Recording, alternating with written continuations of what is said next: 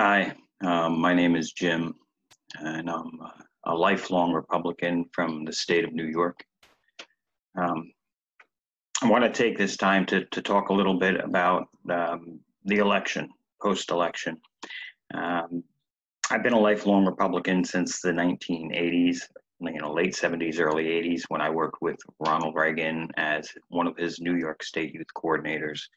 So, you know, I don't want to hear people saying this RINO type of, of thing because uh, not only have I been a Republican for my entire voting life, but there are a number of individuals like myself who I know have also been.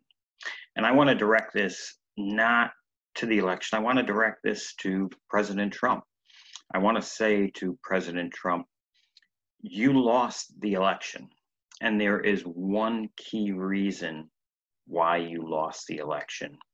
Because while you were chasing a base that was more on the fringes of Republicanism, you abandoned Republicans like myself, individuals who are conservative Republicans who believe in Americanism.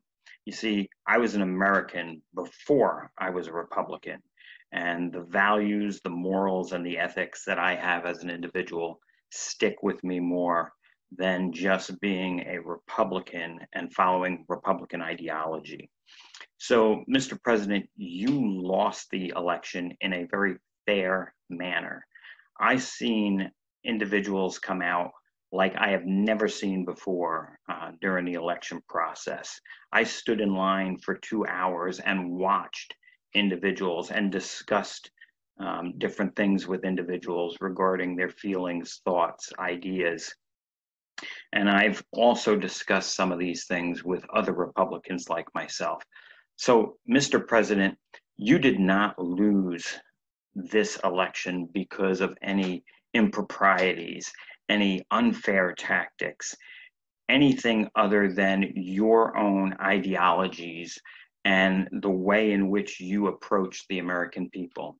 You approach the American people and Republicans in particular in a subset, uh, in a very conservative, radical subset, which turned off individuals that were more moderate Republicans and even conservative Republicans like myself who have a firm belief in the Constitution, what it stands for, and in democracy. We may not always agree with Democrats. But the basic ideology that all of us have is to make America a better nation, to make America a more proud nation, to make America a safer nation and an economically strong nation.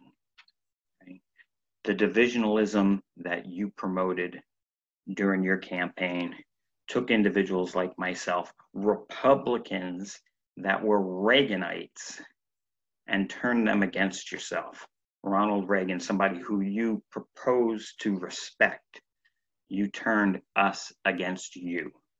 So you didn't lose this election because of an unfair election, because of an improper election. You lost this election because of you.